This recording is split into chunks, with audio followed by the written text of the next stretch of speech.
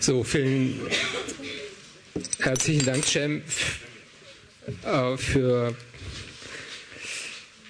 diesen Streifzug, den großen Vogelflug über 50 Jahre türkischer Immigration nach, nach Deutschland. Und äh, es ist eben doch was Besonderes, wenn du dazu sprichst. Und ich glaube, das gilt jetzt auch für die anderen Teilnehmerinnen hier auf dem Podium, Teilnehmer, ähm, weil es eben doch einen Unterschied macht, ob man diese Realität aus Büchern oder aus der distanzierten Beobachtung kennt oder ob man sie erlebt hat und dann reflektiert, sagen aus eigener Erfahrung reflektiert.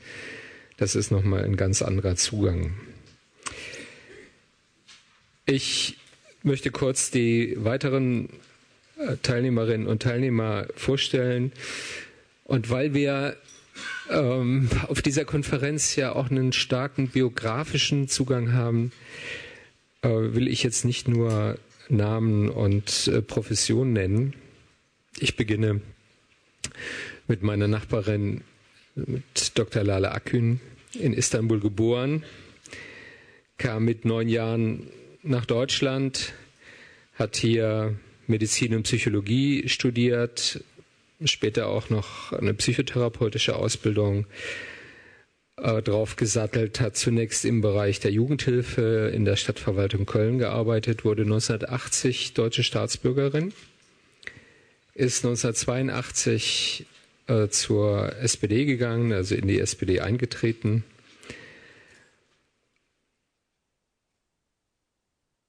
Von 1997 bis 2002 baute sie das Landeszentrum für Zuwanderung in Nordrhein-Westfalen auf, das sie auch geleitet hat. Kandidierte dann für den Bundestag, war von 2002 bis 2009 Abgeordnete und arbeitet jetzt in der Staatskanzlei Nordrhein-Westfalen bei der Ministerin für Bundesangelegenheiten Europa und Medien. In diesen Tagen, ich weiß nicht, ob es schon draußen ist, erscheint ihr neuestes Buch Kebab Weihnacht. Herzlich willkommen. Ist raus. Ist raus. Also kleiner Werbeblock. Frau Maria Böhmer kennen Sie sicherlich alle in ihrer aktuellen Funktion, nicht mehr ganz neu, seit 2005 schon Staatsministerin für Migration, Flüchtlinge und Integration. Studierte Mathematik, Physik, Politikwissenschaft und Pädagogik, hat äh, auch in Pädagogik äh, habilitiert. Äh, sie war zunächst äh, Landesfrauenbeauftragte in Rheinland-Pfalz. Das war, glaube ich, ihre erste äh, politische Funktion zog da 1990 für die CDU in den Bundestag ein, war von 2000 bis 2005 stellvertretende Fraktionsvorsitzende der CDU-CSU-Fraktion ähm, und wurde 2009 in ihrem Amt als Staatsministerin bestätigt. Herzlich willkommen.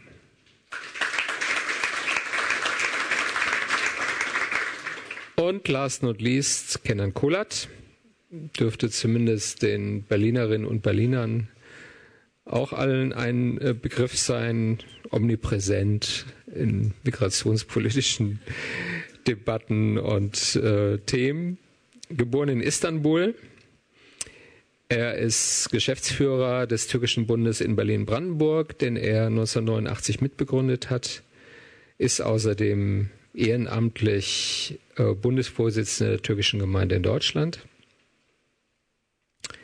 hat ursprünglich Schiffstechnik studiert und zwar zunächst in Istanbul und hat dann hier sein Diplom in Seeverkehrstechnologie an der TU Berlin äh, abgelegt, hat als Sozialarbeiter gearbeitet, äh, publiziert viel. Eine seiner letzten Publikationen heißt Verlust der deutschen Staatsangehörigkeit ähm, und ist auch nicht zum ersten Mal Gast in der Böll Stiftung. Herzlich willkommen, Kenan.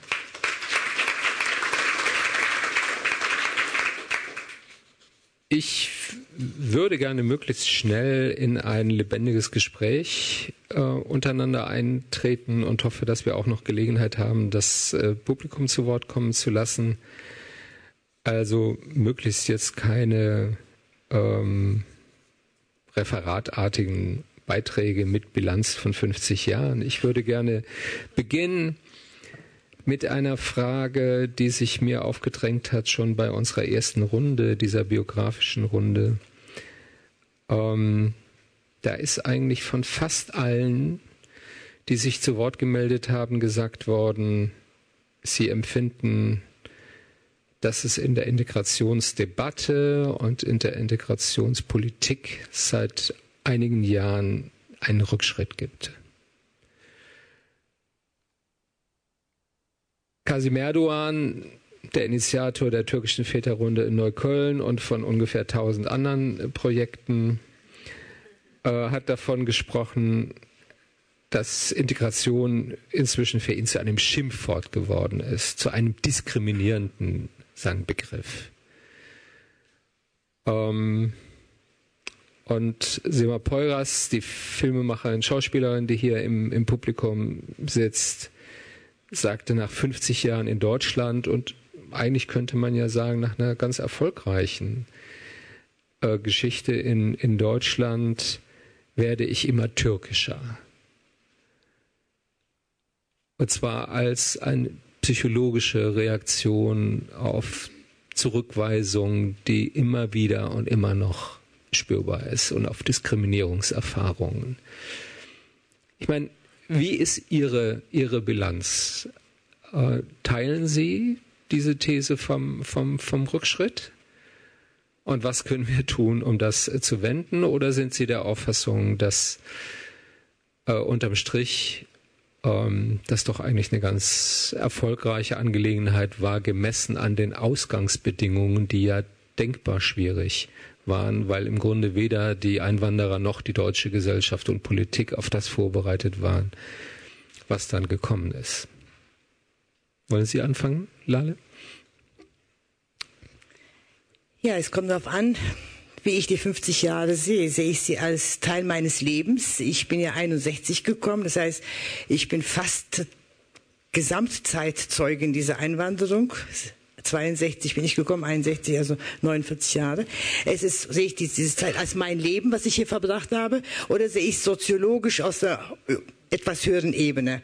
Wenn ich es von einer höheren Ebene aus betrachte, muss ich sagen, ähm, ich denke nicht, dass äh, es ein Rollback gibt, dass es schlechter ist, sondern wir streben mit sieben Meilenstiefeln auf eine Normalität hin.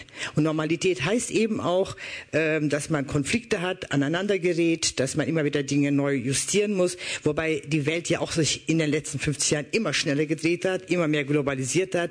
Also all diese Veränderungen, die auf uns einwirken und äh, äh, diese Gesellschaft verändern und die Gesellschaft verändert sich auch.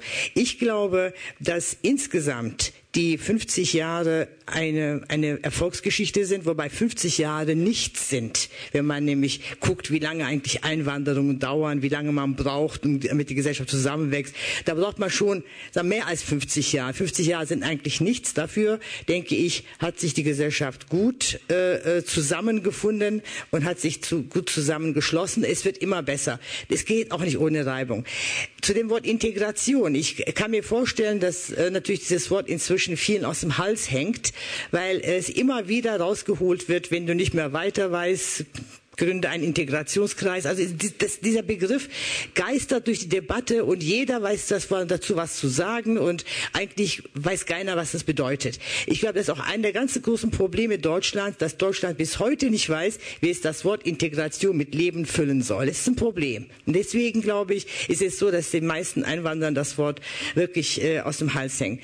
Wenn, Sie mich, also wenn du mich persönlich fragst, wie das ist für mich persönlich, mein Leben hier, wie es sich entwickelt hat, dann denke ich, äh, ist es natürlich so, dass man immer äh, auf einer ja, in, dieser, in diesem Spannungsfeld ist zwischen dazugehören und doch draußen zu sein. Das ist, das ist das Spannungsfeld, ist immer da. Man gehört dazu und man gehört doch nicht dazu. Ich manchmal kriege Fragen gestellt äh, auf meine alten Tage nach 50 Jahren in Deutschland.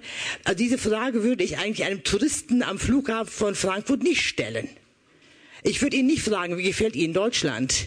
Weil ich denke, lass ihm noch ein bisschen Zeit, damit er sich mal umguckt. Also äh, lächerlich, nicht? Also lächerliche Fragen, dass ich denke, ah, wovon redet der eigentlich? Ist das also an ihm vorbeigegangen? Also als, als in der Persönlichkeit glaube ich, dass man immer wieder kleine Kämpfchen durchleben muss und das gilt für die, die hier geboren sind, genauso wie die eingewandert sind, dass man permanent sich erklären muss, dass man permanent immer wieder Dinge gerade rücken muss.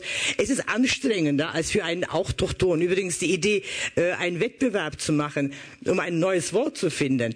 Das kann man machen, finde ich spannend. Auf der anderen Seite, wir müssen auch schon darüber hinweg sein. Wir sollten aufhören, nach neuen Worten zu suchen mit Migrationshintergrund, Vordergrund, Autochton, Allochton. Ich benutze ja auch, es sind Krücken. Es sind im Prinzip Krücken, um über, über, den, über die Wirklichkeit hinwegzukommen. Wir müssen eigentlich republikanischer werden, sagen, wir sind eine deutsche Gesellschaft, wir leben hier eine europäische Gesellschaft und wir haben alle unsere Biografien mit unseren persönlichen, ethnischen, religiösen, was auch immer für Hintergründen.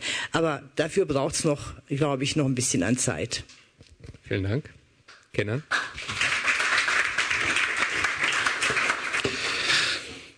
Alles ist gesagt worden. Ähm, Nur nicht will, von Ihnen. Ja, genau. Karl Valentin hat das gesagt, nicht genau. Ich sag, ich bin ein Mensch mit türkischer Hardware und deutscher Software. Und unser Problem ist äh, in der Regel, diese Hardware und Software zusammenzubringen. Wenn das äh, in der Regel nicht passt, dann haben wir Probleme. Wenn es passt, dann haben wir weniger Probleme. Und die, diese Debatte ist diese eigentliche Debatte, weil ich vom Beruf auch Ingenieur bin. Ich habe auch eine kurze Zeit diesen Beruf ausgeübt. Dann habe ich meinen Beruf gewechselt. Jetzt bin ich vom Beruf Türke. Äh, und ähm, wie sie gesagt hat, bin ich auch türkischer und muslimischer geworden in Deutschland. Ich bin in Istanbul aufgewachsen, stamme von einer multireligiösen Familie. Meine Mutter ist orthodox Christin, mein Vater ist Muslim, bin als Muslim aufgewachsen von meiner Großmutter äh, sozusagen. Aber dann ähm, hatte ich sozusagen, habe ich mich so als Türke gefühlt in der Türkei, also gar nicht gefühlt. Ich lebte in der Türkei. Mit 21 nach Deutschland gekommen, habe dann studiert oder fertig studiert und dann mit der Zeit ist es äh, sozusagen immer wieder wird man mit Mensch auf die Herkunft, auf die Religion sozusagen reduziert. Also ich musste mich ständig sozusagen erklären, äh, wie sie auch gesagt hat, rechtfertigen. Äh, in meiner äh, Beratung, wo ich auch immer noch zwei Tage Beratung anbiete, merke ich, dass die jungen Frauen, die zu mir kommen, mit Kopftuch oder ohne Kopftuch, wenn sie mit Kopftuch sind, dann müssen sie erklären, wieso sie Kopftuch tragen und die anderen, wieso sie kein Kopftuch tragen. Wieso sie so gut Deutsch sprechen, wieso andere nicht Deutsch sprechen. Herr Koller, Sie sprechen sehr gut Deutsch. Dann sage ich mal, Sie auch, wo haben Sie gelernt? Also man muss da wirklich damit ein bisschen äh, als Komödiant, äh, also die, deswegen nimmt ja die Zahl der türkischen Unterhalter, Komödianten stetig zu. Das hat wahrscheinlich damit zu tun. Wir müssen viel lockerer damit äh, umgehen mit diesen äh, Geschichten. Äh, aber ich, ich merke das auch immer, diese interkulturelle Öffnung, diese Begriffe, über die wir streiten.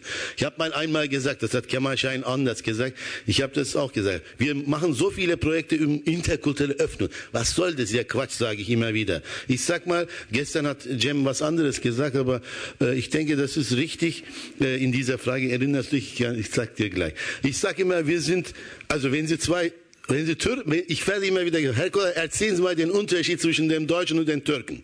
Dann sage ich mal, wenn Sie den Türken fragen, können Sie das tun? Dann sagen wir in der Regel ja. Wenn Sie einen Deutschen fragen, dann sagen sie, Moment mal, wir müssen erstmal gucken, ob die Gesetze das zulassen, die Vorschriften, die Ausführungsbestimmungen es uns erlauben. Lassen Sie uns eine Kommission gründen.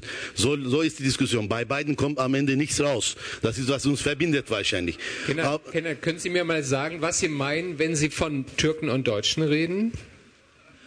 Ja, das ist ja, das, deswegen habe ich ein bisschen in diese Spaßgesellschaft reingekommen, aber ich wollte was Ernsthaftes auch sagen. Ich, für mich ist die interkulturelle Öffnung Folgendes. Ähm, ich sage immer, die Sachlichkeit, die wir in Deutschland erfahren, die ich auch in der Türkei schätzen gelernt habe. Ich habe die deutsche, nicht die deutsche Schule, aber das österreichische Gymnasium in Istanbul absolviert. Deswegen habe ich schon von äh, der Seite was äh, mitbekommen. Aber ich habe hier gesehen, äh, je nördlicher man geht, desto unflexibler ist man, weil das Wetter wahrscheinlich damit äh, zu tun hat. Äh, also es wird kälter und dann ist die Flexibilität weniger. Also wir müssen die Sachlichkeit mit dieser Flexibilität verbinden. Das schaffen viele, diese Hybrid-Deutsch-Türken. Äh, Insofern ist mir im Endeffekt egal, wie man, wie man sich be, be, äh, benennt. Ähm, ich sage, wenn ich ähm, von mir auch etwas in diesem Staat sehe, und identifizieren kann, dann ist mir egal, wie ich mich nenne. Die Frage ist, nimmt dieser Staat und Staatsapparat und die Verwaltungen, Bundes und so weiter einiges von mir rüber, von meiner Biografie, dann sieht es besser aus, in, dann kann ich mich identifizieren.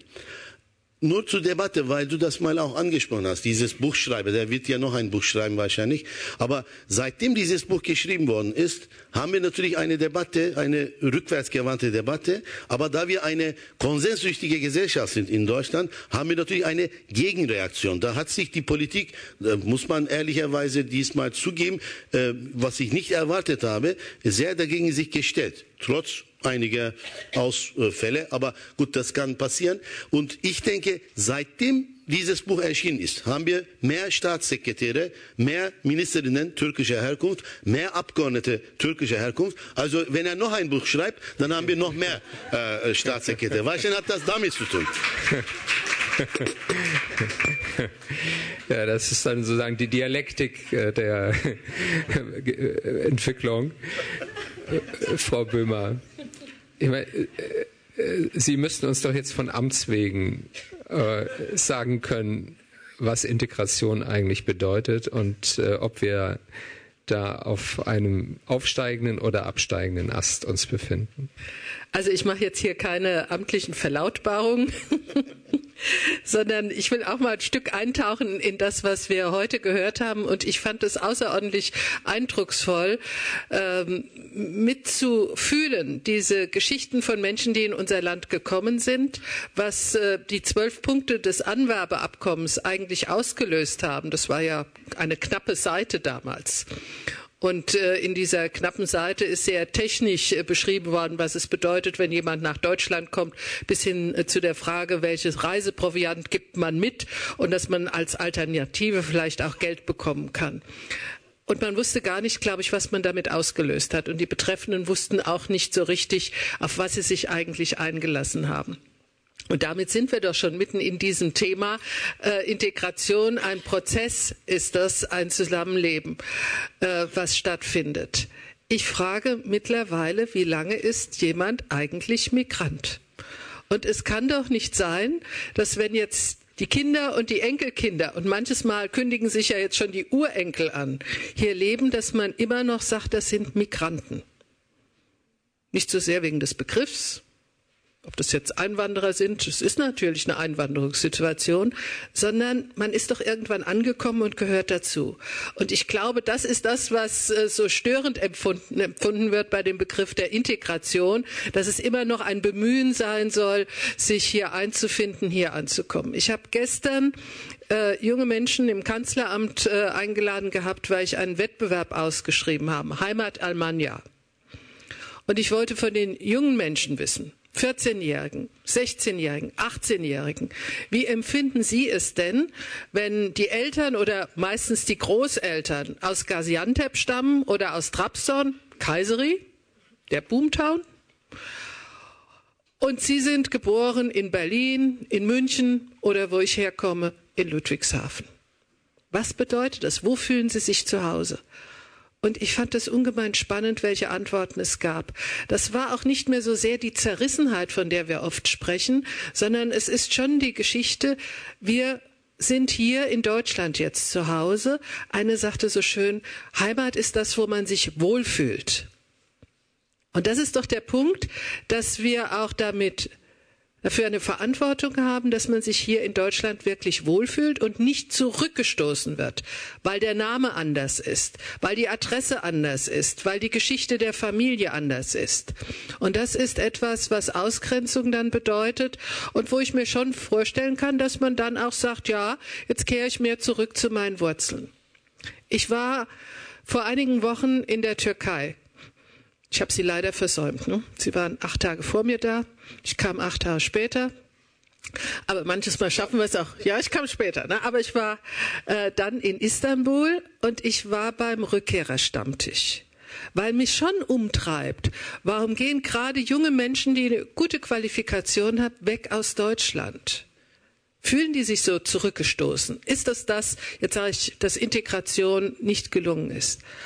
Und bei diesem Abend in Istanbul über dem Goldenen Horn, die Lichter blitzten, das waren Begegnungen, die bei mir sehr nachklingen, weil mir viele auf einmal sagten, als wir in die Türkei zurückkamen, und vielleicht sind sie gar nicht. Genau, das ist, Herr Füchs, genau der Punkt, den ich jetzt dazu gesagt habe. Für viele war es ja keine Rückkehr in dem Sinne. Sie sind ja nicht aus der Türkei weggegangen, sondern es ist die Kindergeneration. Sie sind hier geboren, aber sie sind zurückgegangen. Sie sagten mir, wir haben uns in dem Moment, als wir in der Türkei dann waren, deutsch gefühlt. Jetzt haben wir uns deutsch gefühlt. Dann frage ich mich natürlich auch, was verbindet man mit Deutsch fühlen? Dann sagte mir eine, ja, das Denken ist mehr deutsch und die Emotionen sind mehr türkisch. Jetzt wird es schwierig, glaube ich. Die Psychologin ist jetzt hier ein Stück gefordert, aber man merkt, da kommt eine ganze Menge zusammen. Und Sie haben ja auch gesagt, für uns ist es genauso denkbar, dass wir morgen wieder in Deutschland sind. Ich war bei Siemens in Istanbul auch um dort mit jungen Menschen zu sprechen, super qualifiziert, warum sie jetzt gerade dort arbeiten. Und dann haben sie mir gesagt, für uns ist es nicht mehr so sehr die Frage Deutschland oder Türkei, wir sind Weltbürger. Da kommt ein ganz anderes Denken zum Ausdruck. Und ich glaube, dass wir von daher auch gefordert sind, uns auf dieses andere Denken einzulassen. Jetzt sage ich zum Schluss noch eines. Äh, das ist ja die eine Seite. Die andere Seite, die mir so wichtig erscheint, ist, dass wir die Diskussion wirklich in Deutschland breit führen, weil ich natürlich merke, wie viele hier auch, dass wir einen Nachholbedarf haben in der, ich nenne es jetzt mal urdeutschen Bevölkerung. Weil die Erkenntnis, dass Deutschland ein Einwanderungsland ist, über das hat man lange gestritten, aber so wirklich angekommen in den Köpfen und in den Herzen ist sie erst allmählich. Das kann man mit Statistiken untermauern. Viel angenehmer ist es, wenn man das in der Nachbarschaft macht, im Sportverein, wenn man in der Schulklasse sitzt, äh, in der Elternversammlung auf einmal merkt, äh, wer ist denn neben mir? Und dann werden natürlich auch diese Fragen gestellt. Aber das heißt auch, dass die deutsche, die urdeutsche Gesellschaft sich mit der Frage auseinandersetzen muss, Minderheiten und Mehrheiten, das gilt ja heute nicht mehr. In Frankfurt Sogar 68,3 Prozent der Kinder unter sechs Jahren stammen aus Zuwandererfamilien. Da sieht man, es ist eine ganz andere Zukunftssituation und ein ganz anderes Miteinander. Und da sollen wir uns, glaube ich, nicht so sehr an den Begriffen aufhalten, sondern wir sollen sehen, wie schaffen wir ein wirkliches Wir-Gefühl in unserer Gesellschaft. Dass wir verstehen, wir gehören zusammen, wir gestalten dieses Land zusammen, es ist unsere gemeinsame Heimat und Geschichten, die jetzt im Rahmen der 50 Jahre Anwerbeabkommen erzählt werden. Ich glaube, diese Geschichten helfen uns sehr, denn sie sind gemeinsame Geschichten und das sind die neuen deutschen Geschichten Geschichten, die hier erzählt werden. Und ich glaube, die können das Bewusstsein verändern. Danke.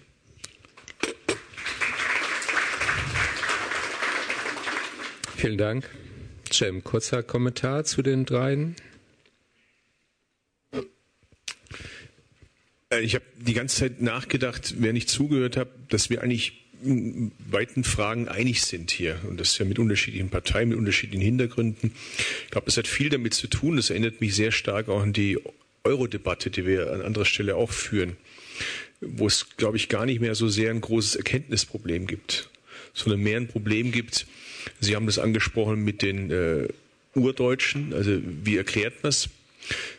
Ich bin mir relativ sicher, ohne dass ich Ihnen jetzt zu nahe treten will, dass Sie vermutlich kein grundsätzliches Problem damit hätten, wenn wir ein Zuwanderungs- oder Einwanderungsgesetz machen würden mit jährlichen Quoten, wenn wir die Zuverdien äh, wenn wir die Verdienstgrenze reduzieren würden auf ein Maß, wie es in der Wirtschaft üblich ist, bei 40.000 Euro äh, im Jahr. Also da hätten wir wahrscheinlich gar keinen grundsätzlichen Streit, sondern die Sorge äh, bei Ihnen in der Partei ist, machen das die Leute mit, kriegen wir das vermittelt und das Interessante ist ja, das ist ja eine Sorge, die nicht nur bei Ihnen in der Partei ist und die auch in der Sozialdemokratie sich findet. Äh, das ist ja in der SPD nicht so ganz anders. Äh, wir haben ja mit denen regiert und ich weiß, wie, wie äh, amüsant das damals war, mit der SPD zu verhandeln. Da haben wir ja nicht mit unseren Freunden bei der SPD verhandelt. Die anderen sind natürlich auch Freunde, ist ja logisch. Wir sind alle Freunde. Aber wir haben mit den etwas schwierigeren Freunden verhandelt ähm, im Arbeitsministerium und im Innenministerium, die das da etwas anders sahen, als es beispielsweise um die Green Card Regelung ging. Und es leitet mich zu, äh, zu dem, was ich mir überlege, wie, wie redet man über sowas, wie vermittelt man, wie wirbt man, wie erklärt man. Und ich glaube, da gibt es noch eine große Leerstelle. Also 50 Jahre deutsch-türkisches Anwerbeabkommen warten eigentlich auch darauf, äh, dass es auch mal vielleicht eine Grundsatzrede dazu gibt und nicht natürlich bei der Grundsatzrede stehen bleibt, sondern im Prinzip ist auch unser Job, das, was wir jetzt hier machen bei Böll, und ich vermute mal, alle hier sind sich jetzt nicht so ganz uneinig, dass wir das im Prinzip auch draußen machen.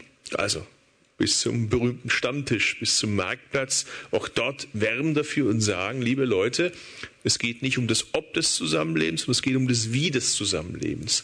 Und auch da meine ich das jetzt gar nicht nur in Richtung der sogenannten Mehrheitsgesellschaft, wobei das ja auch Begriffe sind, die immer relativer werden, wenn man eingebürgert ist. Ich habe mal den Begriff des Bio-Deutschen benutzt, da habe ich dann Protest bekommen bei Bio-Deutschen, weil die äh, viele äh, Deutsch-Türken gesagt haben, ich bin auch Bio, wenn auch nicht vielleicht Bio-Deutsch. also insofern glaube ich, muss man sich da Gedanken machen. Das gilt auch in Richtung Menschen äh, türkeistämmiger, weil vorher ja auch dieses, diese Beschreibung, die ich ja auch ganz oft höre, ich werde türkischer, ich werde muslimischer in der Bundesrepublik Deutschland, das ist ja auch eine Reaktion auf eine Enttäuschung, auf das Gefühl, ich bin nicht angekommen, obwohl ich mich bemühe. Übrigens ist diese Enttäuschung interessanterweise eine, die sich primär findet bei Leuten, die einen akademischen Hintergrund haben. Weil für die ist dieses Gefühl, ich bin doch so wie ihr.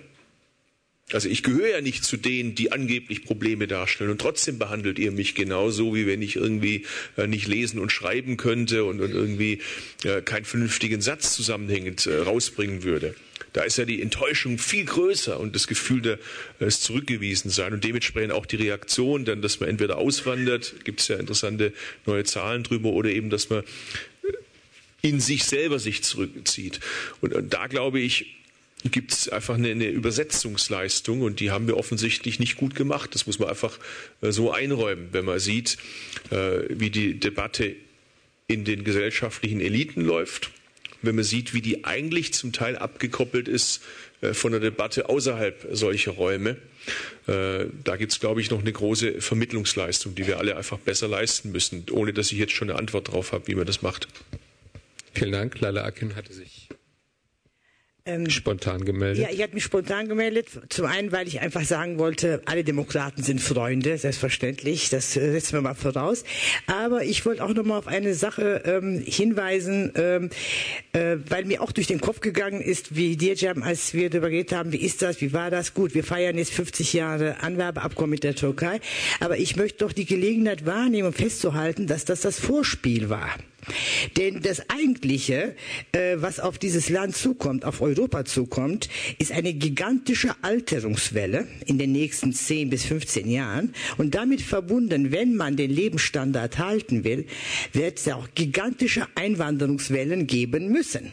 Das heißt, das, was wir hier heute erlebt haben letzten 50 Jahren, dass die Türken sich zum Prototyp des Ausländers äh, entwickelt haben. Der Türke war ja, oder der Muslim nachher, ist oder der Prototyp des, des Fremden und wenn man fremd meint, Ausländer, sagt man äh, Türke, vergessend, dass 50 Prozent der Menschen mit Zuwanderungshintergrund äh, äh eben nicht aus den klassischen Anwerbeländern kommen, sondern ganz woanders hier sich zusammensetzen. Auch spannend.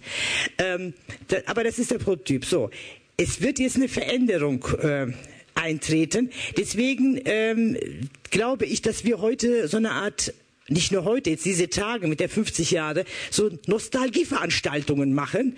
Und irgendwann werden wir darüber nachdenken müssen, ähm, es geht gar nicht mehr um die 40.000, man wird Leute bitten zu kommen, weil mit dieser wirklich, ich sag so mal, gigantischen Alterungswelle, die auf Deutschland zurollt, der Lebensstandard nicht zu halten ist, wenn es nicht wirklich große, geordnete Einwanderungsgruppen äh, geben kann, die nach Deutschland kommen, dass man sie holt. Und dann wird erstmal, denke ich, äh, und dann werden die Türken völlig uninteressant sein, weil da wird jemand, werden andere Leute als Prototyp des Fremden da sein. Es geht immer darum, wen definiert die Gesellschaft als Fremden. Es geht nicht um den Türken. Es ist einfach nur, der war es nur halt, weil er ein bisschen anders aussah, Radiorechter und Moslem war und hat sich in der Zahl auch so furchtbar viele da waren, hat sich halt angeboten. So, dass wir persönlich, die wir eigentlich damit auch leben mussten, zum Teil darunter auch gelitten haben, geschenkt, gehörte zum Spiel dazu. Aber jetzt denke ich, muss man gesellschaftlich den Leuten klar machen und da müssen alle Parteien, wer das nicht tut,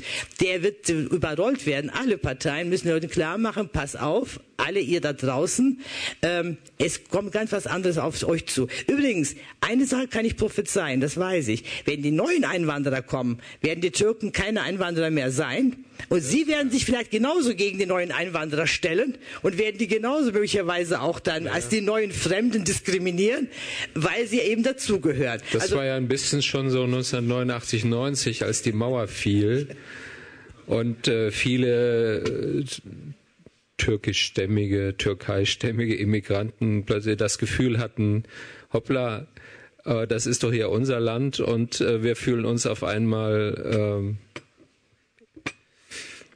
von den neuen, die da und der neuen deutschnationalen Seligkeit, die da, die da, die da ausbricht, äh, äh, herausgefordert. Hm? Aber diesmal wird anders. Kinder. Kinder? Ach so, noch ganz ein, kurz, noch ganz ein kurz, ein Satz. Diesmal wird es anders laufen. Weil es werden keine alten neuen Deutschen hinzukommen. Ja, das ist klar. Die, also diese, diese, die Solidarität, die damals entstanden ist, wird nicht kommen, sondern jetzt wird man sich mit dem Türken solidarisieren. Wir waren doch schon immer hier. Genau. Gerade gestern hat die Bundesregierung den neuen äh, Demografiebericht äh, vorgelegt und ich hatte gestern eine Pressekonferenz gehabt äh, zu 50 Jahre, hatte eine positive Bilanz gezogen und hatte auch dort eingegangen. In dem Bericht steht, dass 2060 der, die Zahl der die, Bevölkerungszahl um 17 Millionen reduzieren könnte oder reduzieren wird, wenn wir den jetzigen Stand sozusagen behalten. Und, ähm, und man braucht natürlich, dort steht da ganz ausdrücklich Rhetorik nicht zum ersten Mal. Übrigens, das, das Wort Integration steht auch nicht drin, was ich sehr gut finde. Gleichberechtigt, ja, als Überschrift, aber nicht, nicht in, im Inhalt. Wenn man den Inhalt äh, sieht, dann steht gleichberechtigte Teilhabe äh, als gesellschaftliche Ausgabe, äh, Aufgabe. Ich finde das sehr gut, dass die Bundesregierung auch sich von diesem Begriff verabschiedet.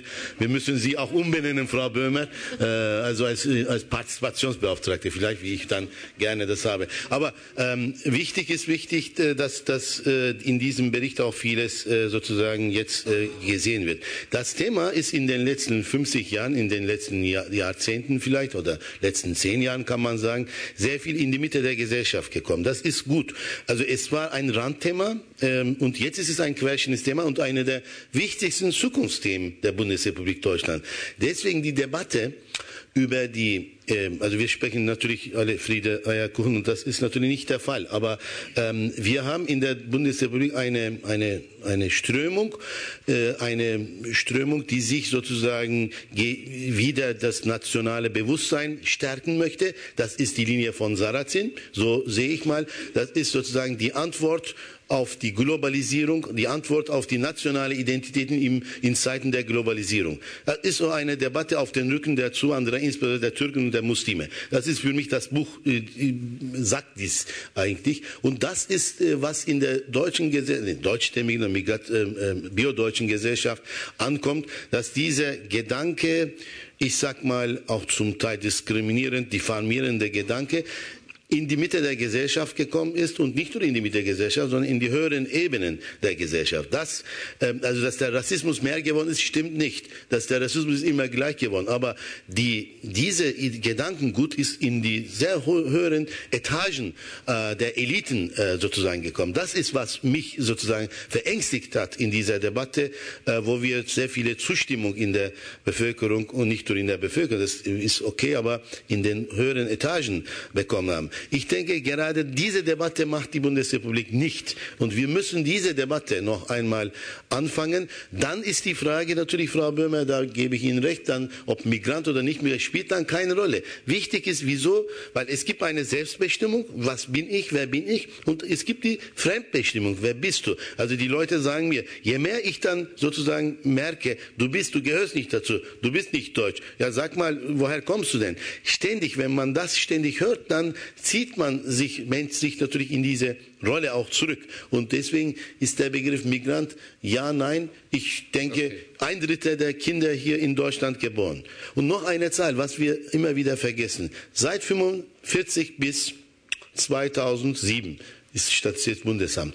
Niemand, ich wusste das gar nicht. Äh, ich bin jetzt des Besseren belehrt worden. Dann 36 Millionen Menschen sind in unser Land reingekommen seit dieser Zeit. 36 Millionen. Das 80 Prozent davon sind nicht deutscher Herkunft. 27 Millionen haben unser Land verlassen in dieser Zeit, 9 Millionen übrig geblieben. Also wir haben zwei Fünfte unserer Bevölkerung ausgetauscht. Es ist auch mal äh, über die Debatte, wenn wir über Einwanderungsland diskutieren, mal zu wissen, dass so viele Veränderungen in unserem Land äh, geschehen ist. Auch dies müssen wir bewusster machen vielleicht bei okay. uns. Vielen Dank. Frau Böhmer, Sie waren jetzt direkt angesprochen.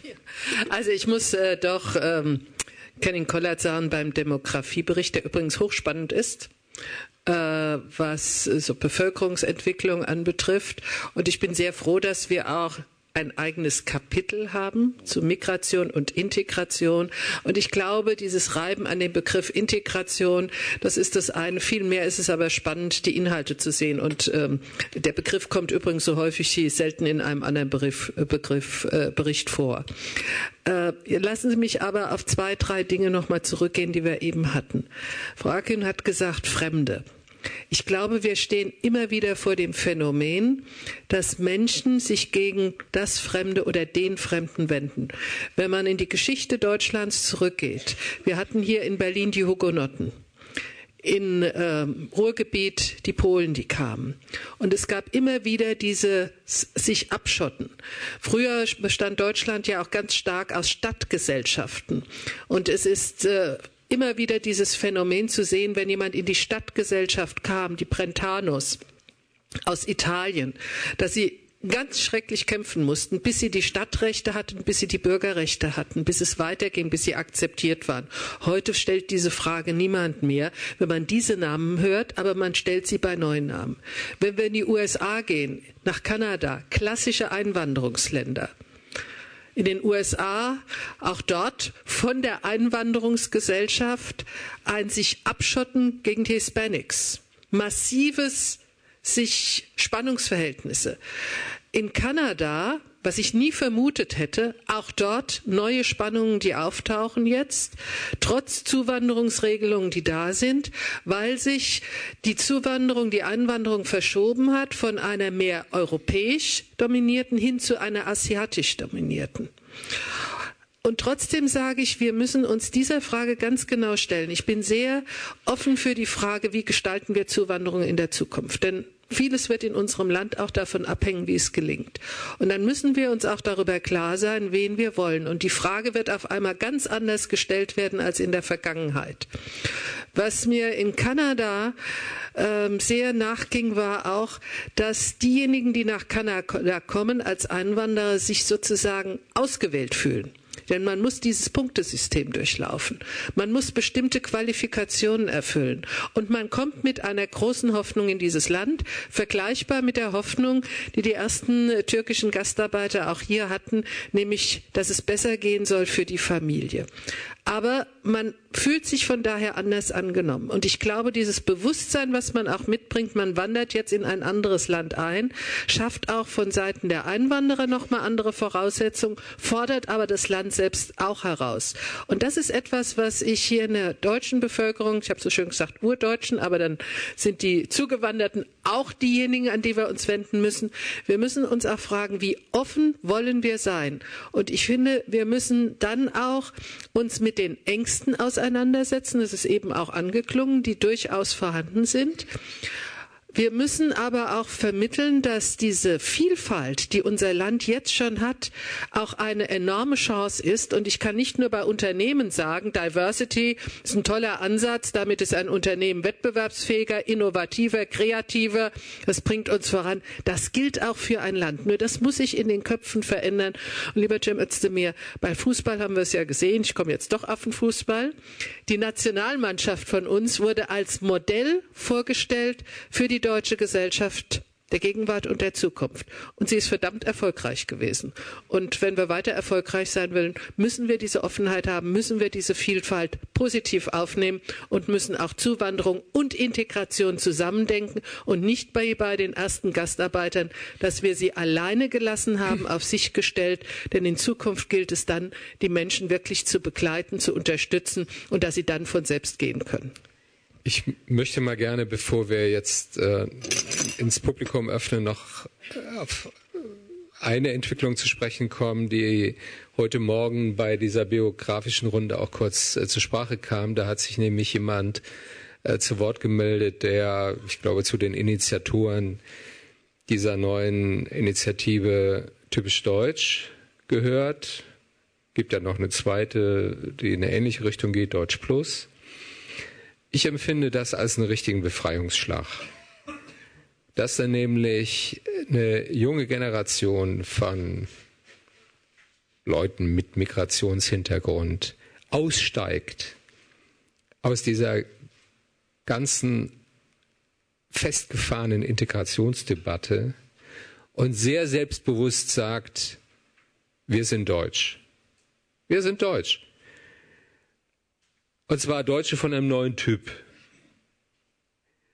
Und wir definieren Zugehörigkeit von uns aus. Ja, also wir lassen uns nicht abfragen, gehörst du dazu, erfüllst du die und die und die Kriterien, sondern wir definieren das von uns aus. Und wir fordern damit auch die, Anführungszeichen, Mehrheitsgesellschaft heraus, zur Kenntnis zu nehmen, dass wir dazugehören. Ja, wir bitten nicht darum, sondern wir reklamieren eine Tatsache, wir gehören dazu. Aber das setzt natürlich psychologisch auch voraus, und darum habe ich vorhin Kennern gefragt, was heißt denn hier Deutsch und Türkisch? Das setzt psychologisch auch voraus, genau diesen Schritt, dass man sagt, ich bin Deutsch. Punkt. Also ich bin Deutsch-Türke. Äh, Punkt. Also.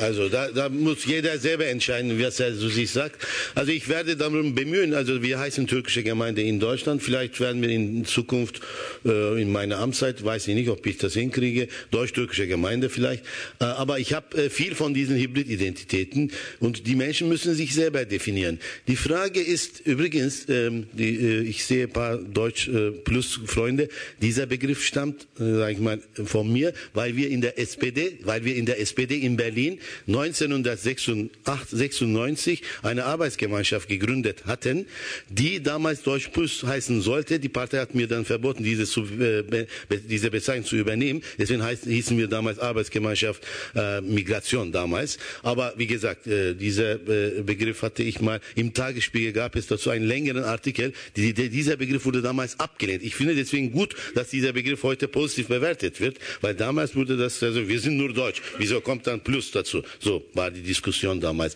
Aber äh, ich denke, ähm, die Identitäten, äh, wir sind nicht nur Türkisch oder Deutsch oder ich habe auch andere Ideen. Ich bin ein Mann, ich bin ein Fußballfan, ich bin Hertha-Mitglied, ich bin Fenerbahce-Fan ja. und vieles andere. Ja, also da, da kann man sehr viel mehr äh, daraus tun. Deswegen, die, damit nicht jetzt, dass, dass man darauf sagt, jetzt müsst ihr Deutsch werden oder Deutsch, das ist, interessiert mich überhaupt nicht. Ich lebe hier, ich fühle mich wohl und wenn ich mich wohl fühle, dann spreche ich auch, wenn ich dann zum Beispiel mit vielen Freunden aus der ganzen Welt, wo wir uns in der Türkei oder woanders treffen, jeder kommt aus Frankreich oder Australien oder wir sprechen und wir verteidigen unsere Länder. In diesem Falle verteidigt Deutschland natürlich. Ja? Weil die ja ihr, ihr Deutschen und so weiter, dann sagen wir, wir Deutsche. So, das ist eine andere Debatte. Ähm, dasselbe, wie Frau Böhmer gesagt hat. Ich, äh, hier ist Alev Karataş äh, aus dieser Rückkehrer Stammtisch. Ich habe gesagt, wieso habt, habt ihr das als Rückkehrer Stammtisch benannt? Ihr habt ja gar nicht, ihr seid gar nicht zurückgekehrt. Ihr seid nur mobil von Deutschland in die Türkei gereist und dort lebt ihr jetzt. Und eine Sache, wo Emine Şahin, die auch Mitglied in dieser Gruppe ist. Ich habe mit ihr gesprochen, dass ich ihren Namen sagen darf, deswegen sage ich den Namen. Sie hat mir sehr Interessantes erzählt. Sie wird jetzt in der Türkei gemobbt, weil sie die deutsche Sachlichkeit dort umsetzt. Also, sie ist ein, sie schreibt Vermerke und der Unternehmer, bei dem sie arbeitet, hat gesagt, alle anderen Mitarbeiter müssen das auch so machen. Und jetzt haben sie sie gemobbt, weil sie ja sozusagen eine neue Neuigkeit äh, eingebracht hat in diese. Also, sie, sie sagt, ich fühle mich auch dort wohl, das ist was anderes. Wenn ich in Deutschland bin, dann fühle fühle ich mich auch anders wohl. Also es sind, äh, wir leben in einer okay. anderen Welt. Okay. Insofern spielt noch, noch ein Satz, spielt für mich die, die Festsetzung auf eins gar nicht. Ich bin, ähm, ich stricke dagegen, dass man äh, aufzwingt. Was bist du denn? Nein, ich definiere mich selber. Das ist klar. So, jetzt Cem und Lale und dann Publikum. Ja, was ist Deutsch? Ich glaube, die Frage zu stellen ist Deutsch. Und insofern ist es schon ein Integrations. äh, insofern ist es, jetzt, ach, jetzt kommt eine paradoxe Intervention, insofern ist es eigentlich schon ein Beitrag zum Deutschsein, wenn man sich mit dieser Frage beschäftigt und diesen Diskurs aufgreift quasi und übernimmt und sagt, ich beteilige mich als Nachfahre von Zuwanderern an dieser Frage, was ist Deutsch? Äh, in der Frage, wo wir gerade neu definieren, wie ist unser Verhältnis zu Europa etc., äh, wie gehen wir um in der Gesellschaft, was Lale Akgün ja sehr schön beschrieben hat, die älter wird, weniger wird und bunter wird. Also insofern herzlich willkommen zu diesem Diskurs. Ähm, aber ich will das aufgreifen, was, was Kenan gesagt hat. Ich glaube, äh, Ralf hat recht, oder Ralf Füchs hat recht, wenn er sagt, kann man nicht einfach sagen, ich bin deutsch sollte man sagen können.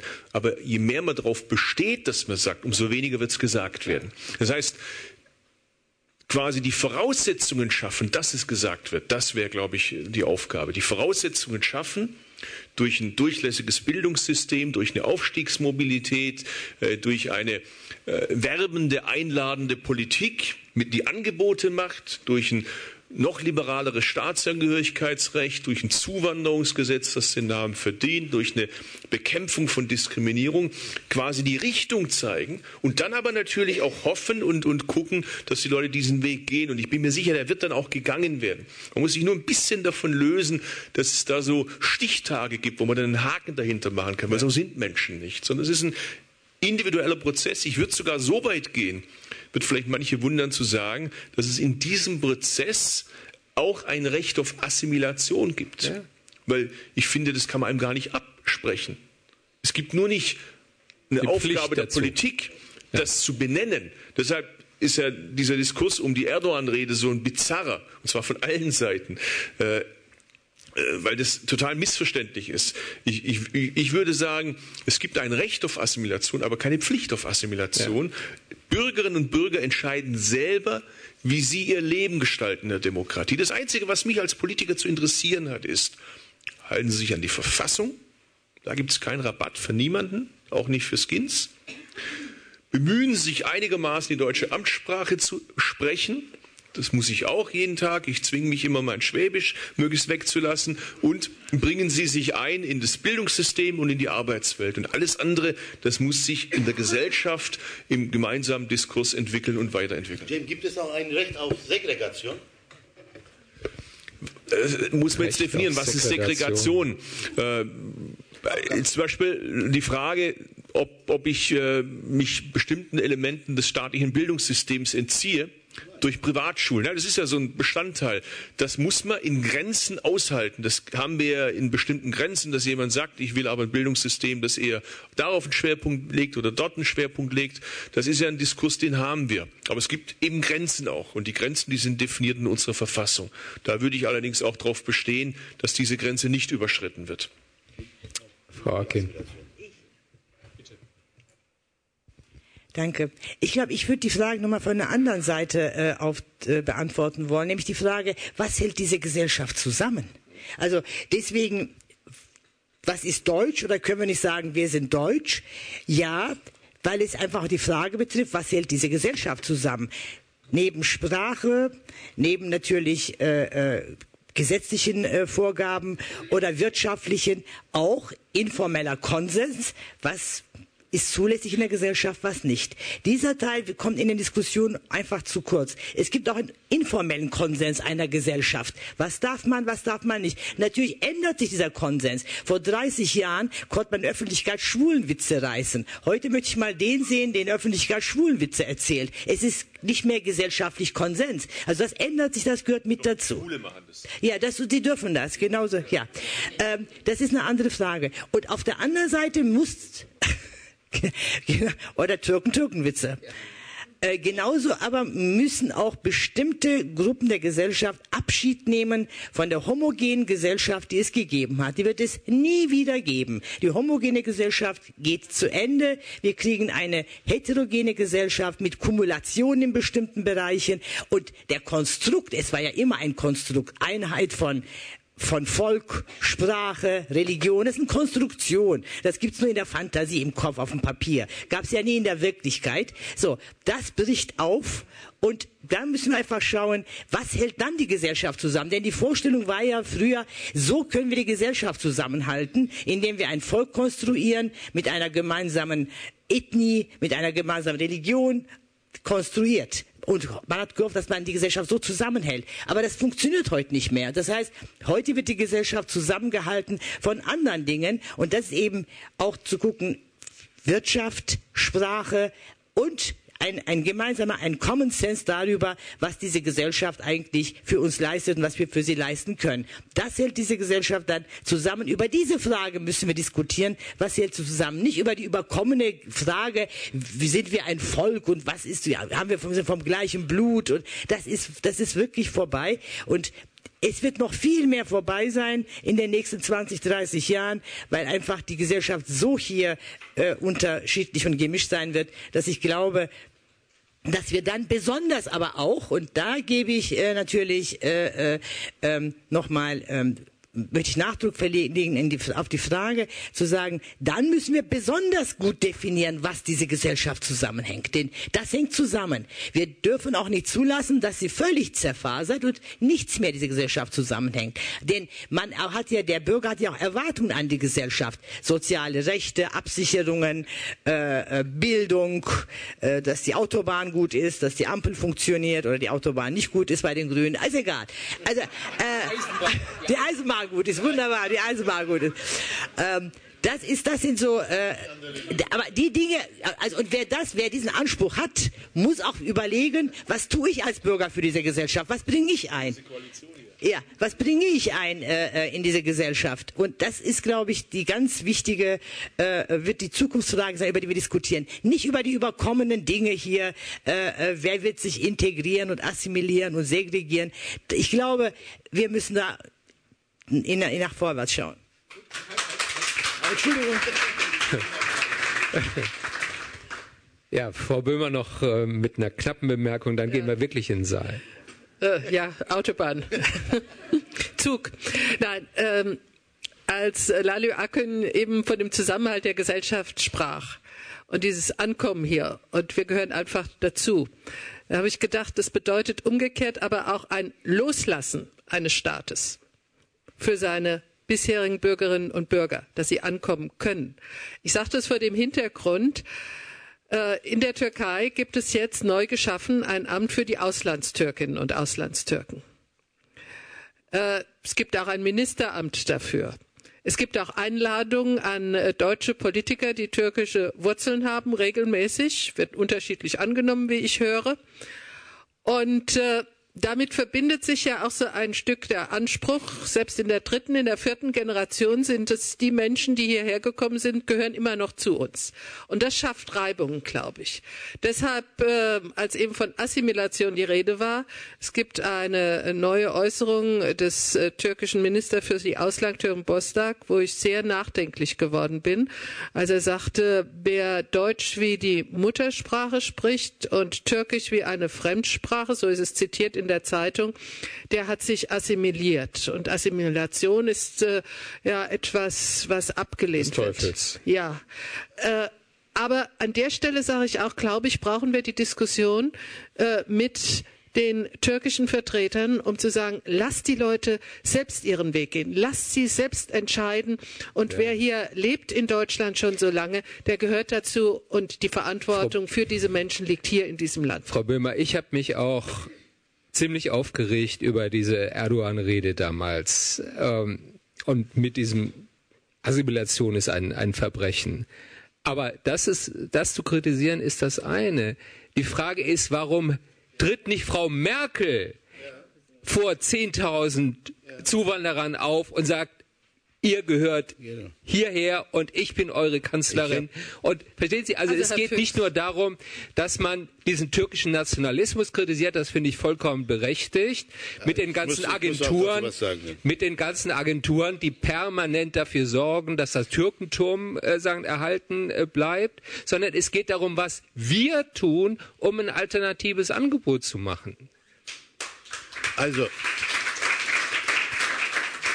ich teile die, die Meinung von Frau Böhmer nicht. Äh, Die, wir haben die Menschen, die in Deutschland leben, die türkischer Herkunft sind, jetzt hat mit Nationalismus nichts zu tun, erwarten von der türkischen Regierung, weil sie türkische Staatsangehörige sind, dass die, der türkische Staat sich um, die, um seine, ihre St- Staatsangehörigen bemühen muss. Also es war schon eine längst äh, eine, eine Forderung von uns gewesen. Die Frage ist, wie man damit umgeht, ist eine andere Frage. Ich kann darüber sehr lange streiten. Es gibt auch äh, eine, ein, ein Amt äh, bei, bei der Bundeswehr, jetzt weiß ich nicht, Aussiegerbeauftragte oder andere, die dann für kulturelle Minderheiten von Deutschen in anderen Ländern zuständig sind. Also diese, äh, dieser Beauftragte bemüht sich immer wieder in Polen zum Beispiel um Deutsche. Also insofern muss man das nicht so gleich ablehnen, sondern man muss gucken, was die sagen, ist natürlich wichtig. Äh, und letzter Punkt. Ich denke, wir müssen, wir müssen wegkommen äh, von diesem, weil Sie nehmen ja an der, an der Konferenz auch teil, Frau Böhmer. Am Dienstag macht ja Bekir Bozdağ diese Konferenz von diesem Amt. Dieses Amt ist geschaffen worden. Es gab ja ein, ein, ein für Auslandstürken äh, geschaffenes Ministerium. Jetzt ist es sozusagen in diesem Ministerium etwas mehr äh, Kompetenzen gegeben worden. Die machen auch viel. Ich teile nicht alles, was sie machen. Darum geht's gar nicht. Aber dass man, dass ein Land sich um seine Staatsbürger kümmert, kann man nicht vorwerfen. Noch letzter Satz. Letzter Satz. Nein, nein, nein. Ja, das ja, ist nicht, wirklich, nein, aber jetzt letzter nein, nein, Satz. Wir gehen ins Publikum. Äh, nein, nein. Es ist also wirklich, da muss man richtig, also ich bin gerne bereit zu streiten. Also ich habe damals Frau Merkel vorgeschlagen. Ich habe ihr einen Brief geschrieben. Frau Böhmer weiß das auch. Ich habe gesagt, liebe Frau äh, Merkel, ich mache für Sie eine Veranstaltung, vielleicht kommen nicht 15.000, aber mindestens 3, 4, 5.000 kann ich organisieren, dass Sie mit Ihnen zusammen... Es, ich, es gab nicht mal eine Antwort Ja, das dazu. kritisiere ich doch.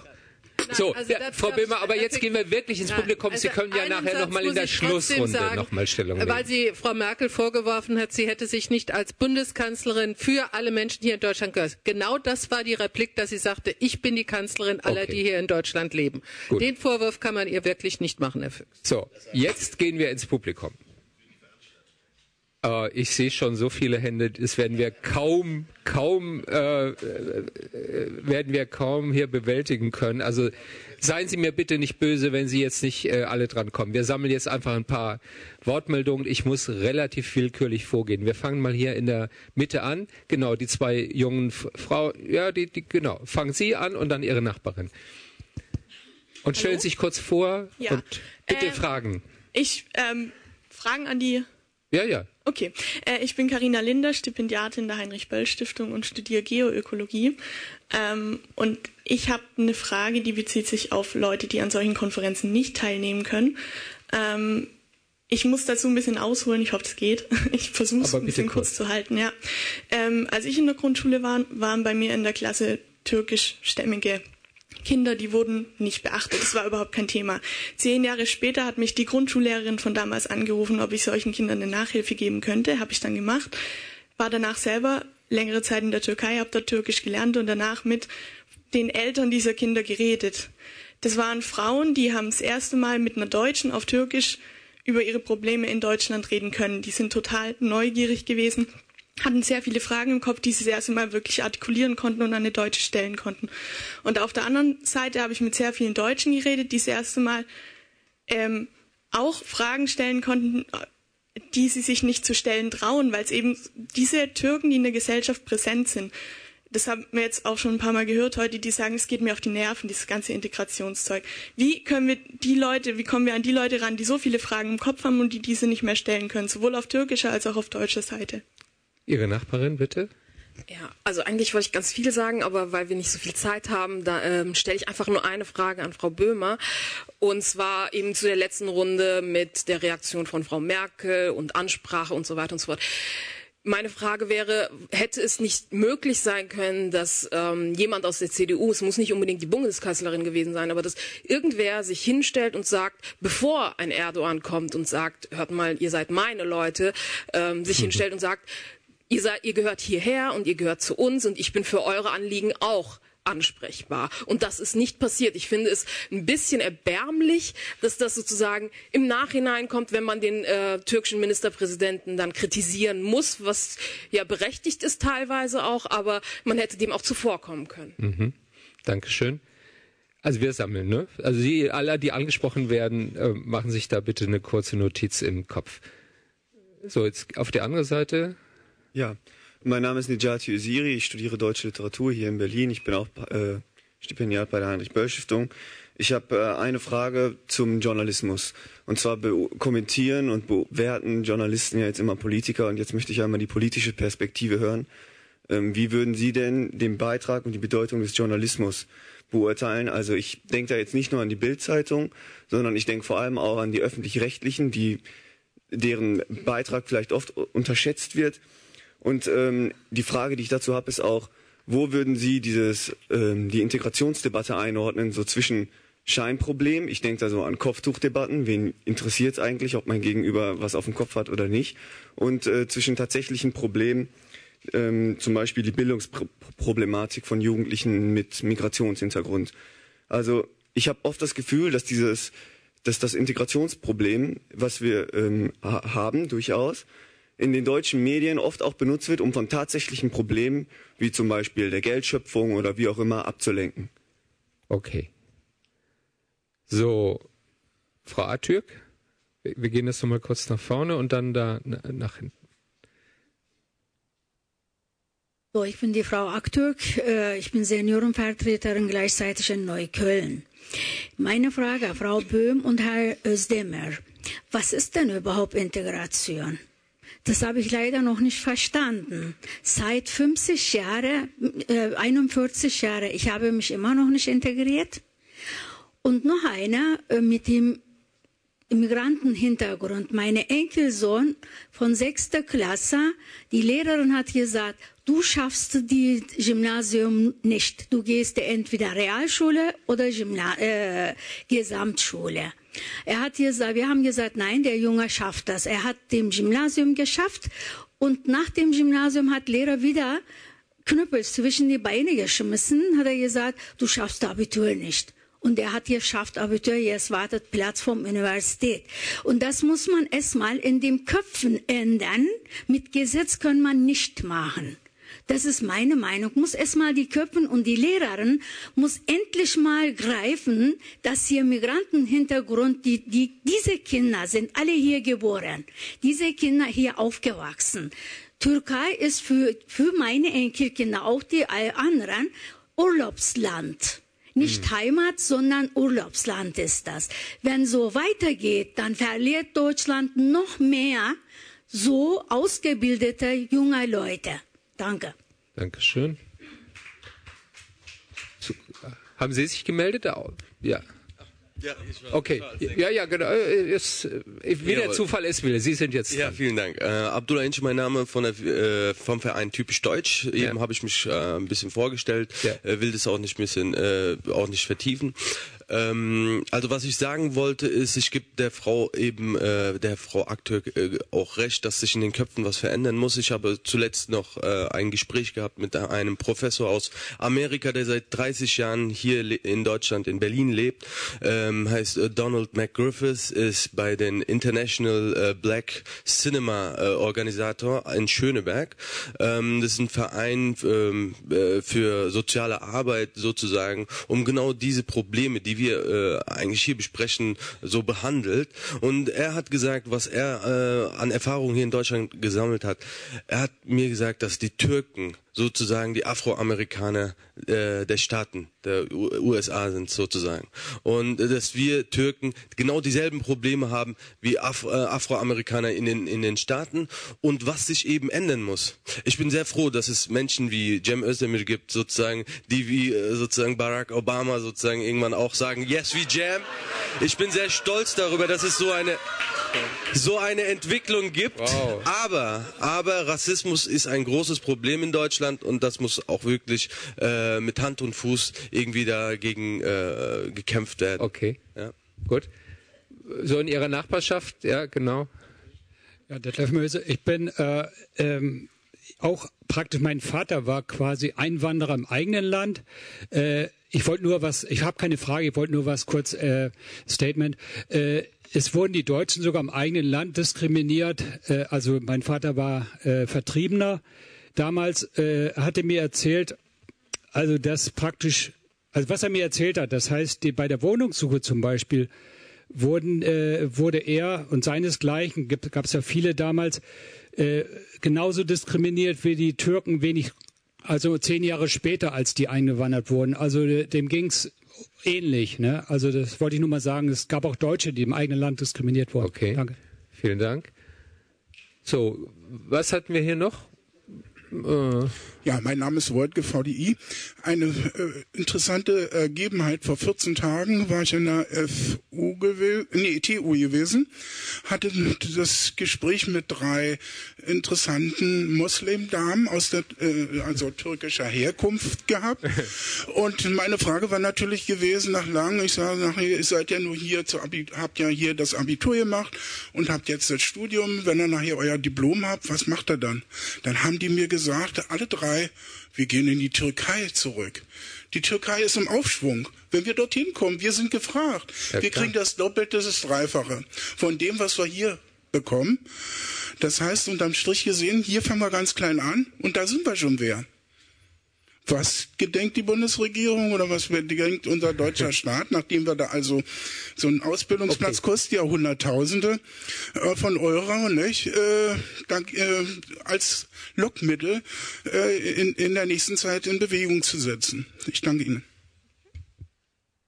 So, jetzt, ich, wir können wirklich nur noch eine oder, oder zwei. Ich entschuldige mich bei allen anderen, die nicht mehr dran kommen. So, bitte. Äh, schönen guten Tag, Laura Kolland. Ich komme von Citizens for Europe und äh, ich habe die symbolischen Wahlen mit meinem Verein mitorganisiert hier in Berlin, also von der Kampagne Jede Stimme 2011. Und äh, soweit ich jetzt hier das verfolgt habe, ist bisher noch überhaupt nicht äh, zur Sprache gekommen, was eigentlich mit Einwanderung ist. Cem Özdemir hat zwar mal gesagt, dass wir, was, was Staatsangehörigkeit und Einbürgerung anbelangt, noch nicht weit genug sind, aber welche Schritte da jetzt tatsächlich notwendig sind.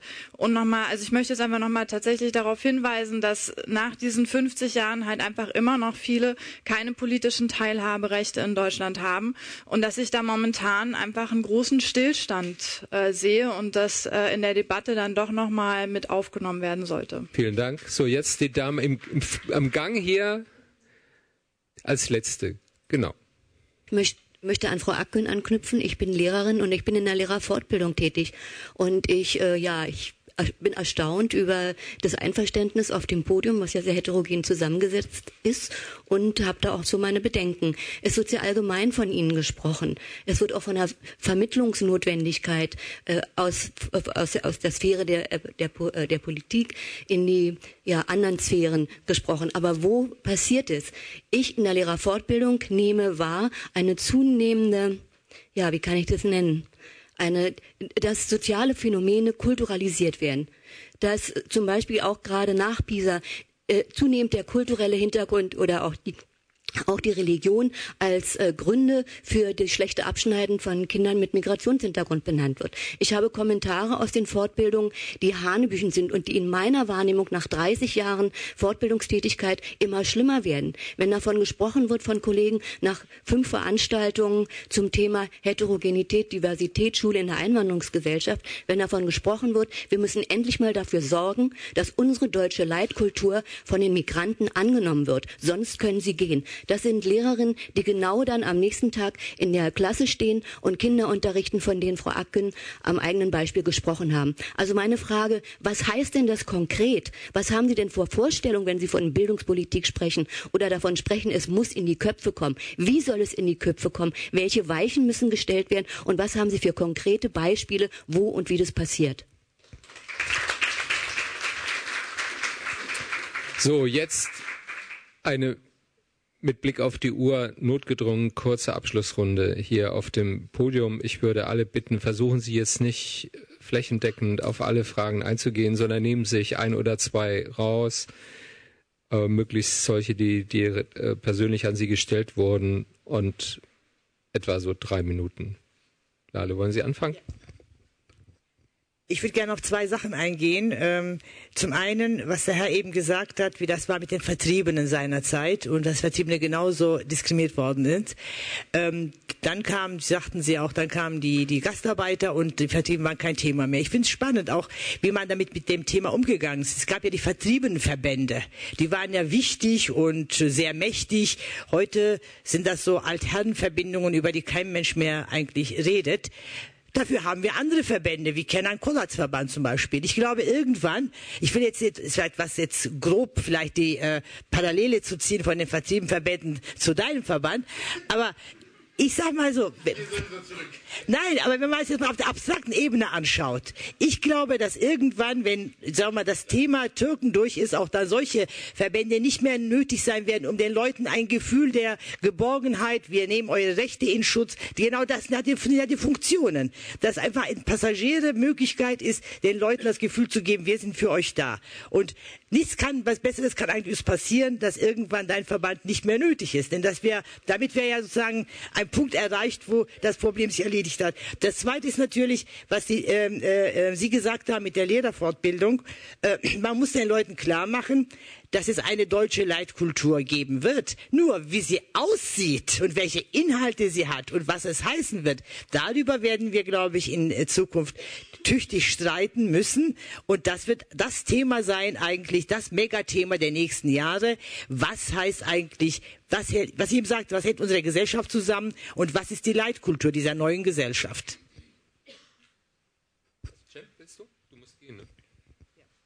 Also, ich, kann jetzt auch nicht alle beantworten, deshalb bitte ich um Nachsicht, jetzt nur in aller Kürze mehr als 50 Prozent der Deutsch-Türken in Deutschland sind immer noch türkische Staatsbürger. Das vergisst man immer. Also es ist nicht so, dass praktisch alle eingebürgert werden, deutsche Staatsbürger werden, das Wahlrecht besitzen, mhm. mit allem, was dazugehört, sondern hier leben Leute nach 50 Jahren ohne deutschen Pass. Die haben noch nicht mal das kommunale Wahlrecht. Das kommunale Wahlrecht haben EU-Bürger auf Gegenseitigkeitsbasis.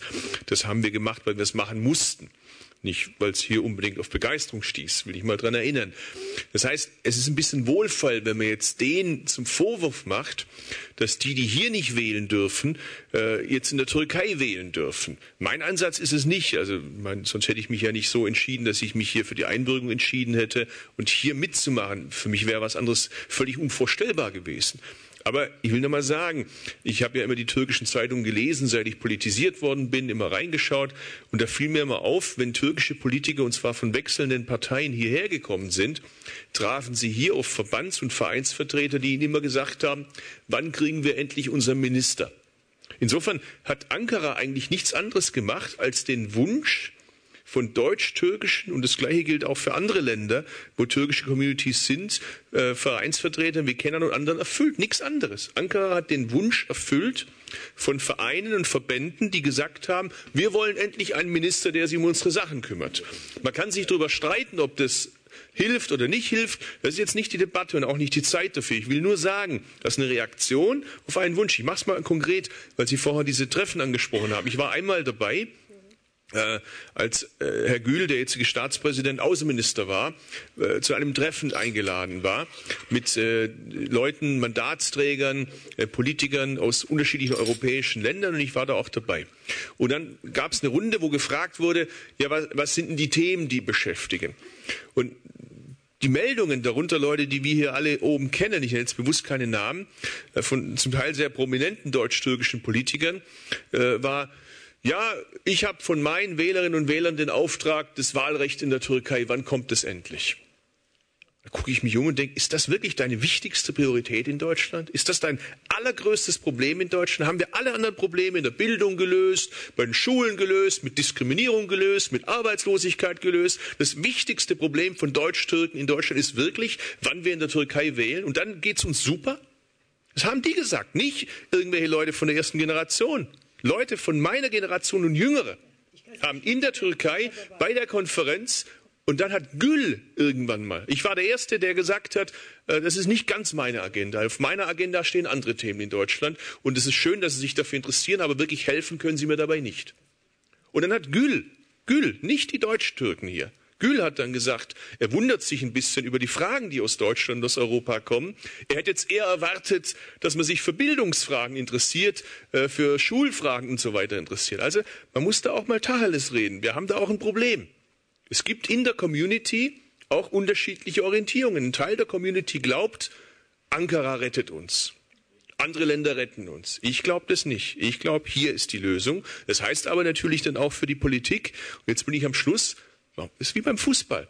Sie sehen ja, der türkische Fußball hat sich gut organisiert. Die haben nicht geschlafen. Der, wie heißt der? Äh, Erdal Kesser, genau, der Erdal Kesser, der hat hier ein Büro mit vielen, vielen lokalen Leuten.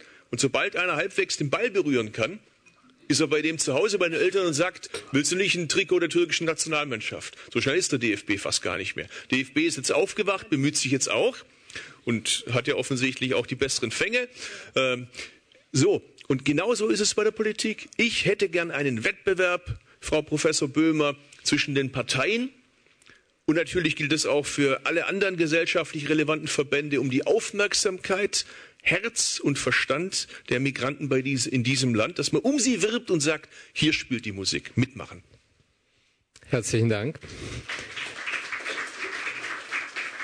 Cem hatte von Anfang an angekündigt, dass er um 13 Uhr gehen muss, weil er einen dringenden Folgetermin hat. Deshalb, wenn du magst, Cem, kannst du dich jetzt äh, verabschieden. Viel Erfolg und bis demnächst. Tschüss.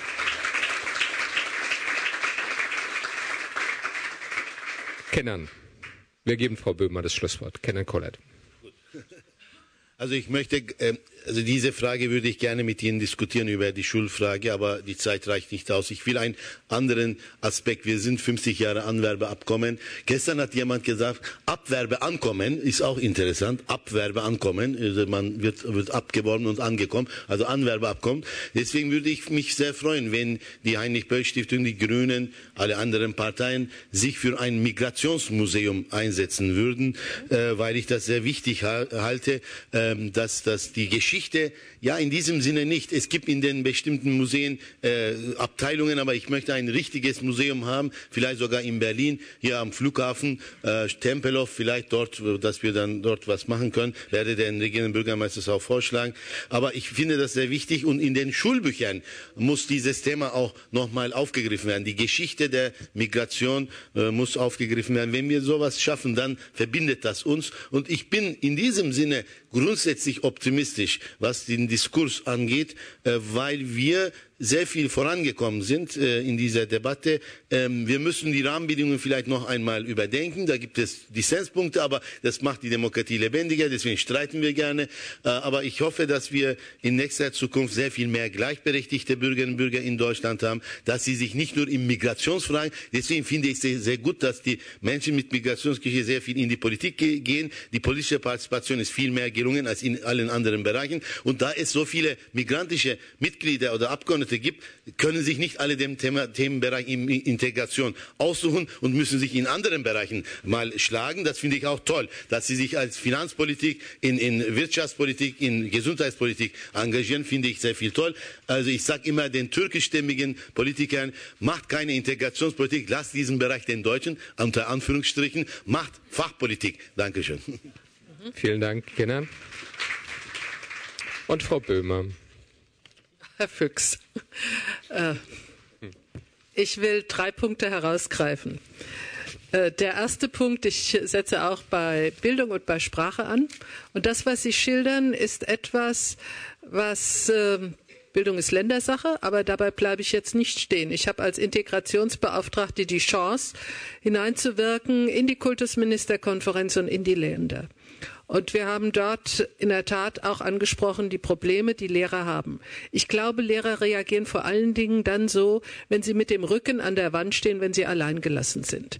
Und mein Eindruck ist, dass äh, auf der einen Seite uns äh, die Kultusminister der Länder mit Fug und Recht sagen können, sie haben eine ganze Menge gemacht, dass es aber für viele Schulen ganz konkret bedeutet, dass sie zu wenig Lehrkräfte haben, dass die Schulsozialarbeiter nicht da sind, die man eigentlich braucht, dass wir zu wenig Ganztagsschulen in diesem Feld haben, denn wenn Sie individuell fördern wollen, brauchen Sie mehr Ganztagsschulen, Sie brauchen einfach mehr Zeit. Und ich bin sehr dafür, dass wir mehr Lehrkräfte auch haben aus Zuwanderungsfamilien, die diese Erfahrung hineintragen können, im Sinne von Brückenbauer. Und ich setze mich dafür ein, dass bei den Lehrern Examiner im ersten und im zweiten dieses Thema Heterogenität, ich sage jetzt nicht Integration, ich sage Heterogenität, ein fester Bestandteil ist und auch ein Prüfungsbestandteil. Denn dann erst werden alle, die in der Schule unterrichten, entsprechend vorbereitet sein. Ich habe noch die Zeit erlebt, dass es um die Ausländerpädagogik ging. Die haben wir jetzt zum Glück hinter uns gelassen, aber so manches Denken ähnelt noch sehr dieser Zeit. Der zweite Punkt, der mir wichtig ist, die Politik hat glaube ich, eine ganze Menge dazugelernt. Und wenn wir heute so diskutieren, und Sie haben vielleicht den Eindruck, jetzt sind die sich alle aber ziemlich einig, natürlich streiten wir auch, aber wir sind uns, glaube ich, einig darin, dass gesellschaftlicher Zusammenhalt, dass die Frage, wie geht es in der Zukunft weiter, und ich sage jetzt doch bewusst das Wort Integration, das heißt nämlich gleichberechtigte Chancen für alle, die hier leben, und keine Diskriminierung und keine Benachteiligung mehr, dass das ein gemeinsames Thema sein muss und dass das auch nur gemeinsam gelöst wird in einem gesellschaftlichen Konsens. Streit ja, denn wir ringen ja um gute Lösungen, aber breiter gesellschaftlicher Konsens, der dieses bejaht. Wir haben gestern im Deutschen Bundestag gehabt eine Debatte zu 50 Jahre Anwerbeabkommen. Ich war sehr froh, dass der Deutsche Bundestag das Thema auf die Agenda gesetzt hat. Aber es tat mir weh, dass es abends um 18.30 Uhr stattfand. Ich hätte mir das sozusagen zur Kernzeit gern gewünscht, damit es wirklich in den Blick gerückt wird. Und Sie können sich vorstellen, dass zu dieser Zeit der Personenkreis der Abgeordneten, die anwesend waren, relativ überschaubar war. Trotzdem ist es gut, dass es stattfand. Und damit komme ich zu dem Punkt, wie verhält sich die Regierung. Ich kenne keine anderen Regierungschef oder Chefin, die die Türen des Regierungssitzes geöffnet hat die Integrationsgipfel sind Ausdruck dessen, dass die Menschen angekommen sind in unserem Land und dass sie dazugehören. Kennen Kollert, ich will ihn jetzt nicht als Kronzeugen sozusagen missbrauchen, äh, denn er steht äh, wie wenige andere so als Kämpfer für die Gruppe da. Aber er sprach damals von einem historischen Moment, der geschehen ist, als Angela Merkel zum ersten Integrationsgipfel eingeladen hat. Und sie hat nie mehr diese Flughöhe verlassen. Wir haben eine Veranstaltung gehabt, Deutschland dankt den Gastarbeitern, lange bevor wir jetzt über 50 Jahre Anwerbeabkommen sprechen. Und ich wünsche mir, dass das in allen Orten in Deutschland so geschieht. Und damit komme ich zu dem letzten Punkt. Ich glaube, wir dürfen äh, nicht nur glauben, die Politik kann alles richten. Wir können eine Menge an Rahmenbedingungen schaffen. Wir haben jetzt das Gesetz gemacht zur Anerkennung von im Ausland erworbenen Abschlüssen. Es war äh, eine der schwierigsten Gesetzesvorhaben, nicht wegen dem Gedanken, sondern weil das deutsche Recht so kompliziert ist. Ich habe immer von dem Dschungel gesprochen. Ich glaube, dass sich damit auch viel mehr verbindet als nur die bloße Anerkennung von beruflichen Qualifikationen, sondern es ist die Anerkennung von Lebensleistung, Herr Füchs, von der Sie am Anfang gesprochen haben. Das ist der eigentliche, die eigentliche Botschaft dieses Gesetzes, den Menschen zu sagen, ihr seid etwas wert, wir schätzen das wert, was ihr mitbringt, was ihr darstellt. Das ist die Kernbotschaft dieses Gesetzes. Aber wir brauchen vor Ort in den Gemeinden in den Verbänden, in den Organisationen dieses Aufeinanderhören und dieses besser kennenlernen. Und die junge Frau, die als erstes sprach, ich muss Ihnen sagen, Sie haben in meinen Augen genau den Punkt betroffen. Wenn wir Zusammenleben und Zusammenhalt haben, dann muss der Kontakt untereinander intensiver werden, dann muss der Austausch intensiver werden. Und ich muss die Geschichten kennen und ich muss die unterschiedlichen Gefühle auch kennenlernen und verstehen lernen. Und deshalb, glaube ich, sollten wir eine ganze Menge weiter anschieben. Die Stiftungen, die Politik, aber gerade diejenigen, die vor Ort Verantwortung tragen, damit dieser Austausch gelingt und das Wir-Gefühl damit steigt. Und deshalb lassen Sie uns diese 50 Jahre, die wir jetzt feiern, es sind eine ganze Menge von Feiern, die wir jetzt äh, vor uns haben, dass dieses nicht abreißt, sondern dass das als Botschaft in unsere Gesellschaft hineingetragen wird. Herzlichen Dank. Vielen Dank.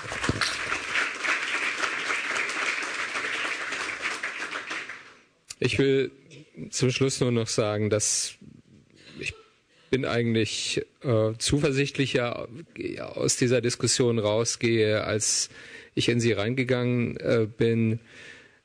Ähm, was für mir auffällt, und ich bin jetzt auch wirklich viele Jahre immer wieder in, in diesen Debatten und Arbeitszusammenhängen und äh, Gesprächskreisen. Ähm, ich fand es relativ entkrampft im Vergleich zu vielen früheren Jahren, äh, wo die Debatten sehr viel stärker entweder äh, von Angst geprägt waren, dass äh, man etwas politisch Inkorrektes sagt äh, oder von einem sehr starken äh, gegenseitigen Rechtfertigungsdruck.